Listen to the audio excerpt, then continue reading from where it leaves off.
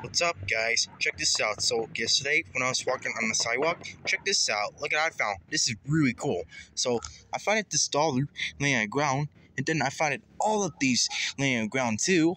But first, let's go through the dollar. Let's see what we got here. Hopefully, we can find a star note. Wait, here we go. So, it's 2017 series. So, it's 34948283. Huh, looks like a, looks like a Peter. Maybe, but I don't know. Me know in the comments, but it's not a star note though. That's awesome though. We got a buck. I'll take it. Just a free dollar. Now on to the poker chips. Alright, so look at all these poker chips that we founded. We founded more of the poker chips. So we have some red ones. What is this? Hmm. I don't know. There's three reds in here. Three of them that are red. And there's two blues. There's two of them that would be blue. Huh. Let me know in the comments what these poker chips are. Comment down below if you guys know.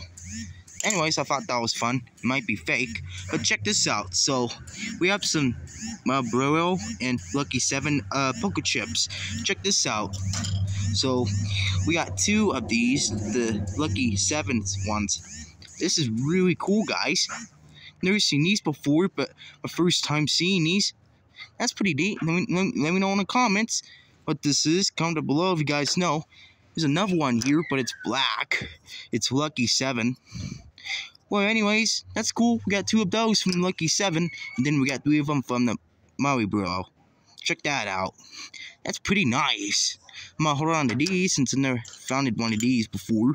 There's another one that's white, Marlboro. That's cool. Two of them are white, and this one's black, Marlboro. Oh, that's pretty cool. So, we got some uh, poker chips from Lucky 7 and Marlboro, and some of them that are fake. Three of them are red and two of them are blue. And then we found it the star laying on the sidewalk as well. That's awesome. I might keep these in my coin collection, and I might, I might spend that to give me like a soda at least from the vending machine, like Dr. Pepper or Cocoa do. They're my favorites. Anyways, guys, hope you enjoyed.